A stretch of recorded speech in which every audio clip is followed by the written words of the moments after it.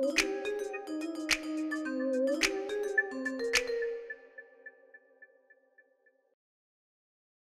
Hello knitters, Barbara Benson here.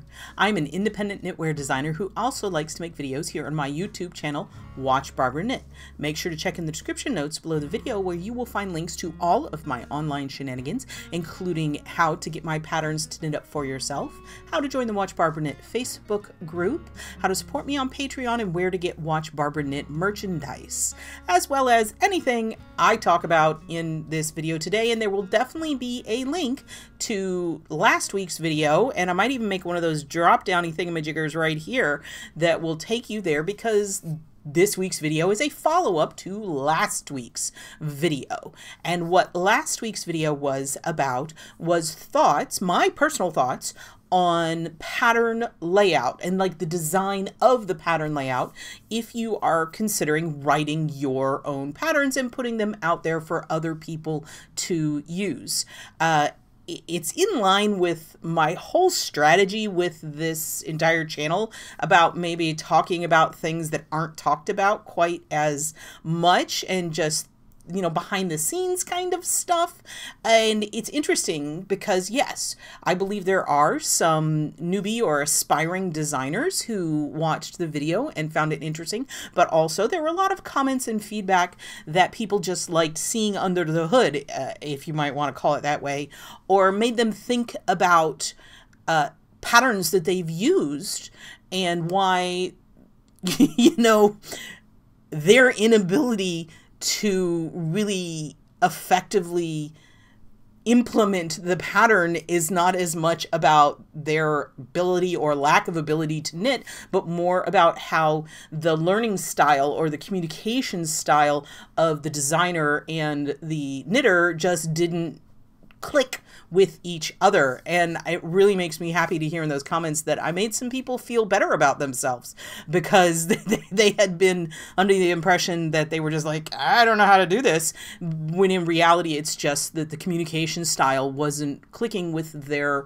uh, learning style because there are so many different designers and everybody commutes communicates very differently. So if you're interested in that and didn't watch last week's video, click on the link or in the thing below or whatever and go back and watch that. Hopefully you will find it interesting. My intention last week was to talk about that, but also cover the idea of style sheets, which I totally ran out of time because I try to keep my videos, uh, I try to keep my videos between 15 and 20 minutes. Sometimes they creep up towards a half an hour, but I really don't think y'all want me to talk about this kind of stuff for hours on end because I can do that, but it might get boring. So I cut it short and asked if anyone was interested in the style sheet ideas and thoughts and there were enough people in the comments that said yes they would like it so that's what this video is and first off I think that what I really need to mention is what is a style sheet in this context. Now, um, it is possible that there are things called style sheets used in different contexts. I'm talking about specifically a style sheet as used in knit and probably crochet in this industry and in this design kind of concept. And they're really two distinct kinds of style sheets that I'm going to talk about because they have two very different purposes. First off, which ties into the idea of pattern layout and design, is the pattern style sheet that you make as a designer for yourself to make conscious choices about how you want your patterns to be formatted and also to help you help yourself to remain consistent so that your patterns look the same from pattern to pattern to pattern. I know if you're just getting started, this probably isn't something that you're really thinking about when you're putting out your first pattern. You're like, oh no, I know exactly how that's going to go, but let me tell you, I never thought I would personally be still writing patterns. Uh, it's 13 years 13 years later so you want to have a consistency i never thought i'd have over 150 published patterns um, you want your patterns to be consistent and you want people to have a predictable product. Now, I'm not saying that my patterns haven't changed at all. Hopefully, they've improved to feedback as far as layout and design goes, but you want people to really have a better idea of what they're getting into. Um, and they, you guys out there, when you go and you look for patterns, you're not necessarily looking at the date it was published. And if you stumble across one of my patterns from 2012 that you really, really like, I would hope that you would have as good of an experience with it as a brand new pattern that is coming out. So the style sheet is something you create, and it's something I really encourage you, if you are an aspiring designer, to think about from the drop. This is not something to like retroactively implement, because let me tell you, that, that is a giant pain in the butt, because I have done several major overhauls of my patterns, and at one point it was just going back and I had to like overhaul like maybe 30 patterns, but then there was a point where I had to overhaul a very large number of patterns and that you, you don't want to do that. So if you do it like if you do it good from the beginning that's a really uh, a better choice in my opinion. So what we're going to look at is this is and honestly in looking at this to talk to y'all about it i realized I really need to update my style sheet because it's really out of date. Um, if you look down here, this was last updated in 2014.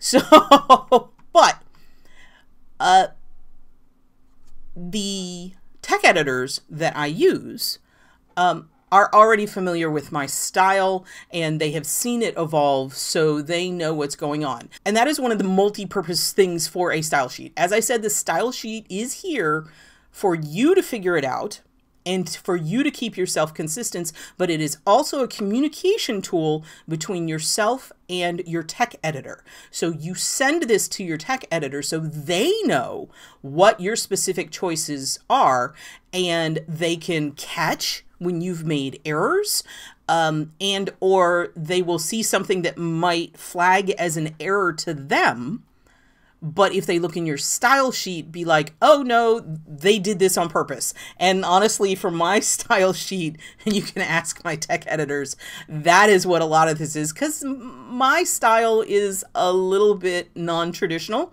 i've made some choices that are as i explained in last week's video that are based on how i like to use patterns that aren't really industry standard. So I've had them flagged by tech editors as errors. And I'm like, no, no, no, that's very much on purpose. So as I've been babbling, you might have been reading this. So this is going to give you an idea of exactly how detailed you really need to make conscious choices.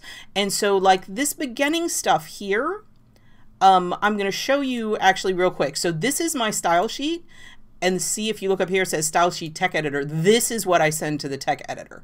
So the tech editor doesn't really get all of this because this is for me to remember how wide are my margins? And it's like if my template ever gets messed up or if I accidentally delete something or something, whatever, this is what we do. And so you can see that my cover inch, you know, how big are my cover images? How big is the sidebar? How big is the body bar? And then uh, to the detail of having a 0.1 inch right margin or a 0.1 inch left margin and then we've got the font sizes for the title, the byline, the body text. Now all of these have changed, which is why I realized because I have a, uh, a different, I use a different font now. Um, you can see in this actual page, this is Novarese standard. That's what's in this. And it is a more um, serif heavy font and I have moved to a very lightly serifed font because the lightly serifed or sans serif fonts are better for people who have dyslexia and make it more legible for them, but it's still fine for uh, neurotypical people. So it, I've I have changed that. The other main reason I changed the font is because I had to change page layout software. And the software that I was originally using was came out of the United Kingdom and I had to replace it with Adobe and they just didn't have the font. So I had to make some choices. I had to make some changes. I did some revamps. So none of this is really accurate anymore. The like the sizes are accurate, but I need to revise all of this. but you've got that. But what I wanted to show you is making these things, telling yourself what you're going to do. So in this, it says body text. I'm going to use the 11 point with a left alignment. If I need to emphasize something, I am using Novarese book instead of bolding. That just makes it slightly heavier instead of going and clicking bold. I do not have an indent. I have single spacing. After a paragraph, there's a seven point space. In between row, row, row instructions is four point spaces. So and this again has changed. I think I'm at six point now. Again, minor changes have happened in feedback to how people use my patterns. Over here you can see, do I or do I not have a border on the photographs? Yes, I do, and it's just a small one, a one point.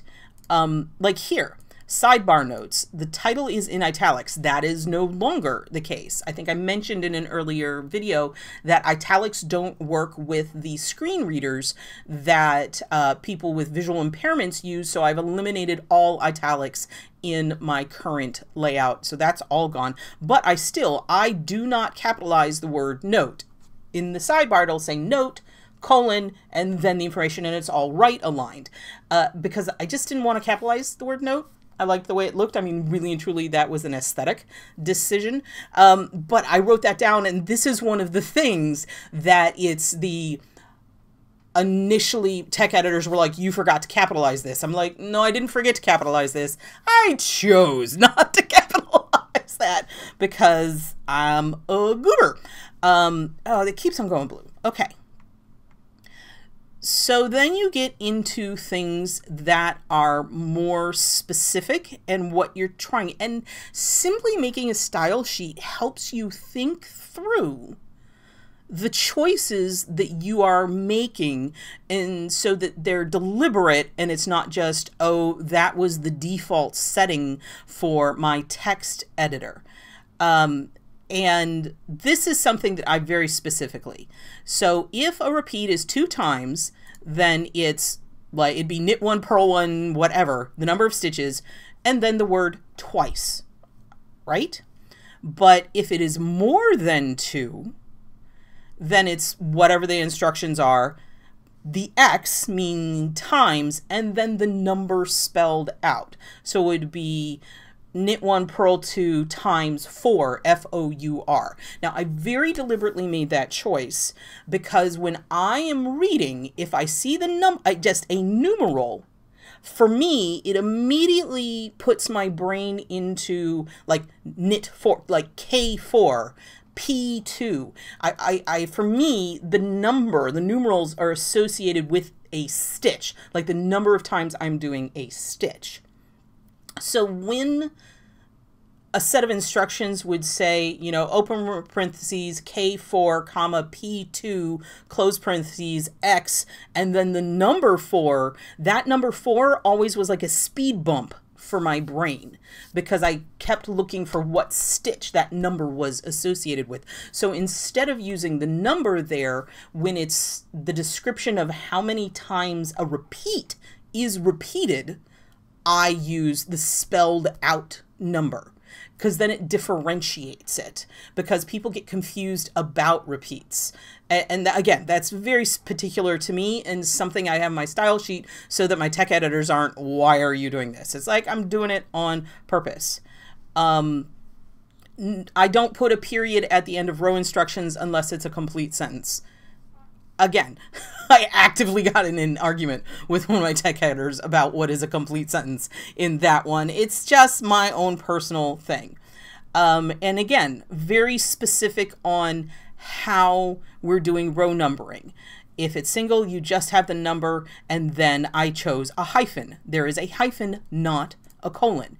Rows blank using the ampersand for two rows, and then if it's more than two rows, using the word two So we're doing this to this, and always with a hyphen after it. And if it's color work, it's going to be the number of the row, comma, the letter of the color. And sometimes I do using that color, especially when I get into more complex color work, trying to make things clear. I have a very specific set of reasons on how I use the bubbles and where they go. And then finally, why are you turning everything blue? Stop it. um, I keep this, now this is a PDF that I'm showing you, but I keep it as a living document and I am constantly putting in, when I write the stitch description, I put it into this document so that when I need to put that stitch description into a pattern, I just copy and paste it. And again, this is all about having consistency across your patterns, across your products. So I don't have to rewrite every single time what the instructions are for make one left and make one right. I just come into this document, I copy it, I paste it into my new document so that I know that my instructions for make one right, make one left, slip one, knit two together, all my abbreviations are constant and consistent across my patterns. So if when someone has um, has worked one of my patterns, it's going to be the same. Uh, but you do always need to read these instructions because sometimes, for some reasons, it will change um, specifically. And if it is, sometimes I'll give it a different name and try to really highlight the fact that it is a non-standard way of working that stitch. So, and then this is my Yarn and Notions panel, which we talked about previously. So this is, see, and like here, I used to have the, the note explaining my sidebar used to be in italics. It is no longer in italics. I have a specific thing. The stitch counts are nine point in a bracket at the end of the line. Um, and I've actually changed the formatting of that.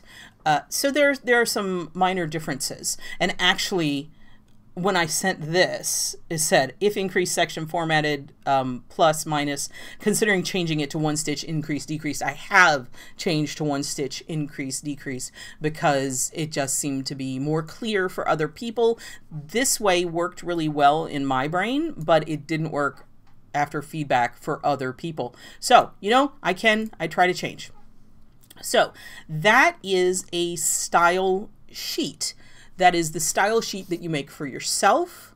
And really, in making a style sheet like this, as I said, I really feel it helps you really stop and think about the choices that you're going to make when you are communicating and how you are writing your patterns, but also it allows you to stay consistent. And you only have to make those decisions once. Once you've made that decision, once you know what you want to do, you can just do it the same way over and over and over again, and it streamlines the process. Um, now, and again, it's communication tool between you and your tech editor so that your tech editor knows what it is that they need to be double checking um, as far as your pattern layout and your communication style goes. Uh, tech editors do way, way, way, way more than that that could be a totally other video if anyone's interesting as far as what a tech editor does. And uh, I will give you one uh, strongly held opinion of mine. Just again, since we're talking in the vague idea that you might be thinking about designing your own patterns, test knitting is not a substitute for tech editing. I'm not going to say you shouldn't do test knitting. If that's something you want to do, you can do it, but it, it is not instead of tech editing. And in fact, if you are doing test knitting, the pattern that the test knitters receive should be tech edited.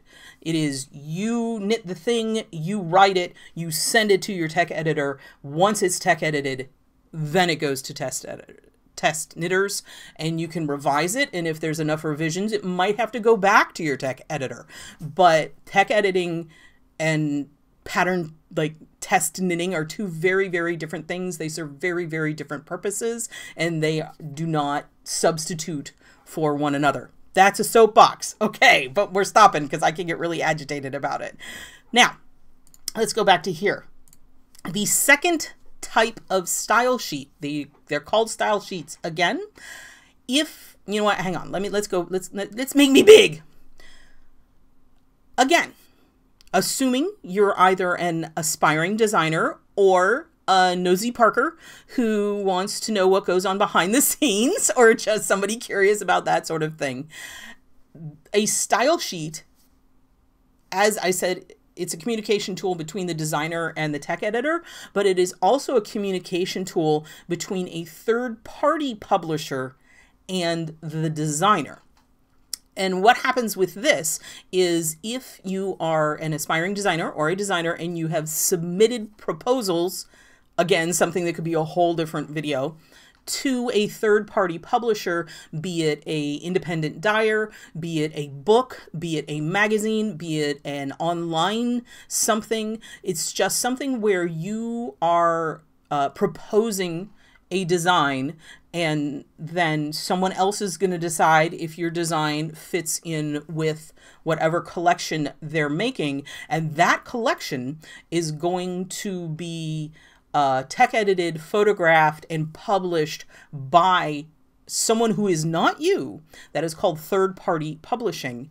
And what happens in those collections is those collections um, have multiple different designers in it, but they still need to have a single voice, um, which is why if you have run across any of my patterns in third-party publications like the Star Wars books or Ply Magazine or um, Interweave Knits or any of those, actually even my books, the voice that you are going to find in these third-party publications. My books aren't technically third-party publications, but I was just thinking, uh, the voice is not going to be the distinctive voice of an independent designer that you maybe have come to know. And that is because the third party, the publisher of this collection, is going to send a style sheet to the designers. And when you, as the designer, are creating the pattern and writing the pattern, it's your job to write that pattern in accordance with the style sheet that has been given to you. And that style sheet is going to be a lot of what we just discussed uh, for our own personal style sheets in that it's going to define how abbreviations are done. It's going to define how you do parentheses and repeats and uh, numbers and all kinds of things. So I have one here. I was trying to think. Um, I have this one here, which this third party is no longer publishing. So I thought it would be just fine to just show it quickly. But also, this is one of the most extensive and well written style sheets I have ever received from a third party publisher. It really ensured that you have a unified voice from a disparate number of designers. And they're very specifically. So if you are going to design for a third party, you have to go by these rules. And what it is, it's like they're very specifically like like really specific. Do not submit your pattern as a PDF. Give it to me as Word. Um, round all fractions to the nearest quarter inch. Present them unformatted instead of um, you're going to use this 1 slash this instead of 0.25. Use fractions. Um, round to the nearest half centimeters. And then some very specific instructions on do not direct readers to work as for X reverse all shaping. Write it out very specific information on how to write the raglans, information, capitalize the first letter of chart names. Um, do all of these things so that people, and then this is super important. This is how they want repeats formatted. Use knit one per one semicolon repeat from exclamation from asterisk to end. Do not do parentheses do not do any of these kinds of things. Um, and say use, she says, do use this, do use the double hash marks, do not use um, the word inch. Use about, not approximately. Use before, not, do not abbreviate that. So it's a whole bunch of Um, they prefer continue cont in continue in pattern instead of work in pattern. So these are just very specific. See, they want a capital M with the one instead of a lowercase m with a 1. And I prefer the lowercase m with the number because it makes me see it better. Again, so if I was writing for this, I would have to modify my style because I would be using the M1 like this and they want it like this. You know what? I'm going to do it the way they want me to do it because it's their publication. So then we have refer to these examples for the preferred formatting and phrasing. So they have presented with multiple different types of patterns and how these patterns are structured and that is how they want you to write the pattern. And this is very much where I was saying you're not necessarily going to get that designer's voice because like this structure here, this structure here where what you do is you present the stitch guide. So how to do the stitches is presented and then you're essentially told how to assemble those stitches. Um, that's not like a style that I typically use. I've done it occasionally, but it's not how I do. But here's a cardigan. So you can see this just goes on and on. And it looks kind of overwhelming, but it's not that it's overwhelming. Uh, because really you're only going to be designing one pattern and this is multiple different ex examples you would just go through and find out which example works for your particular uh, contribution um, but things like here where it's telling you how to set up multiple how they want multiple sizes to look. All of these things have to be consistent throughout the final product and then here is them showing you how they want like here. So they have SL as slip. I personally only use S for slip because mostly it's when it says SL1 it looks like S11 to me so I just I chose to eliminate the L but writing it for uh, this particular uh, um, publisher, I would put the SL in there. You just have to do what they tell you to do. Oh, with yarn in back, see, I put the I in here, like WYF. I do WYIF. Again, personal choice. You just need to look at what the, you just need to look at what your particular uh, collaborator is asking you to do and write to it. What we have here is, and we're coming up on half an hour again, a lot of stuff about style sheets. Style sheets are two different things. They're a communication tool with yourself, they're a communication tool with your tech editor, and they are a communication tool from a third party uh, third party to a designer who is being included in a third party collection. So that is what you need to know. There's probably more that we could talk about about uh, style sheets. Um, if you have, if I said anything ridiculous, or if you have any questions, or if that made you think of anything else that made you be like, oh, but what about, please feel free to let me know in the comments. Ask away. I enjoy the comments. I enjoy talking to everybody. Or come over to the Watch Barbara Knit Facebook group, and we can always continue the conversation there. If you like this video, please give it the thumbs up, click that like button. And if you would like to be notified whenever I upload a new video, please subscribe to my channel and select notification. Thank you so much.